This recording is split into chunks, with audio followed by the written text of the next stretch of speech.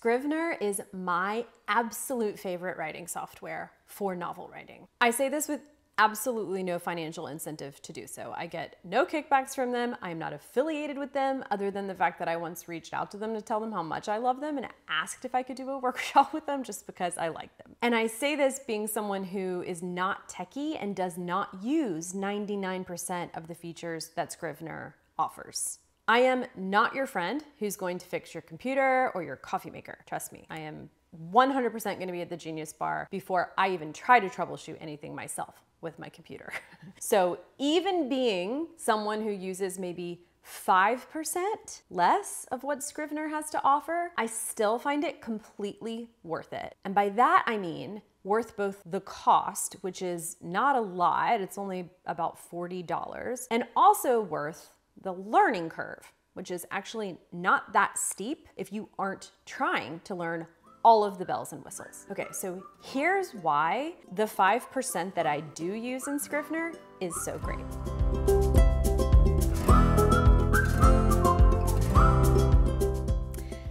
Whether or not you have started writing a novel, you can probably infer that a novel is a massive, massive undertaking. So is a memoir.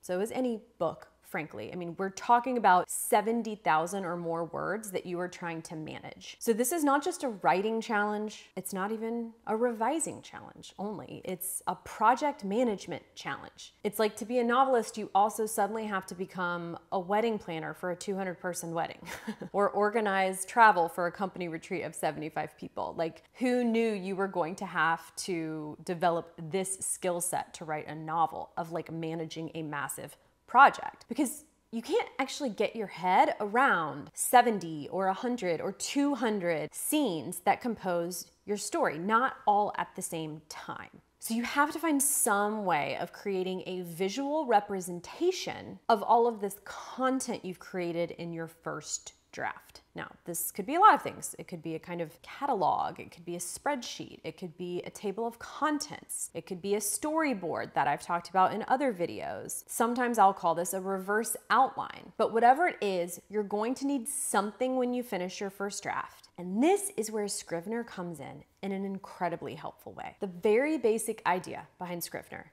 is that as you write a scene, you give it a short name. That's it.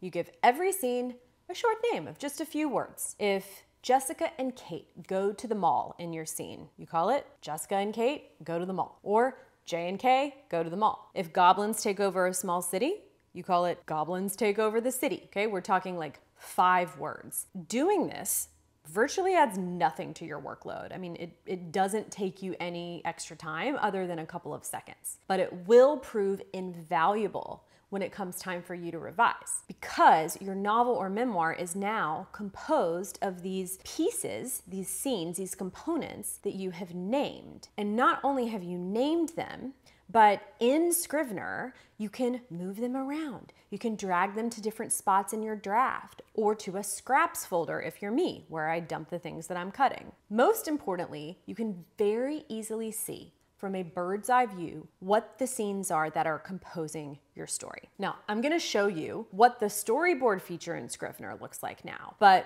real fast before I go on, I wanna invite you to apply to the Book Incubator. It's a 12-month MFA alternative that I started and that I now run with novelist Rufi Thorpe. You can apply at the link below. It's just two questions, it takes a couple minutes. And if you're writing a novel, you'll definitely want to check it out. Okay, back to the video. Frankly, I haven't even used the storyboard feature in Scrivener, but it exists and writers I work with seem to love it. It looks like this.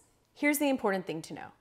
You don't have to create this storyboard separately. Scrivener does it for you based on the names that you have already given the scenes. You've given these scenes these names as you were drafting. Or in my case, as you were transcribing because I actually write by hand my first draft and, and that's what I teach other writers to do if they can. So these days, I tend to transcribe in Scrivener rather than write in Scrivener, and I'll, I'll talk more about that in a second. Either way, the whole point is this feature alone of naming your scenes makes Scrivener amazing. Again, there are a thousand other features in Scrivener that you could and can learn. But frankly, I'm not a big fan of giving myself a bunch of technological tasks when what I need to be doing is writing. But I think this one alone really makes it worth it. And because I feel like I know what you're wondering if you're new to Scrivener, yes, it is very easy to export your document from Scrivener into whatever other writing software you need it to be in. Microsoft Word, Google Docs, Pages, a PDF. I mean, it's, it's literally just the click of a button. You don't have to download any extra software or anything.